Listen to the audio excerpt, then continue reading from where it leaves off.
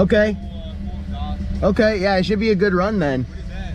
Genesis V8. Oh, okay. What you got done with it? Just full exhaust minus headers and then a drop-in filter, no tune. I'm on 93. Okay, okay. So, yeah, man, hell yeah, we'll do, you know, 40 or 20 or something like that.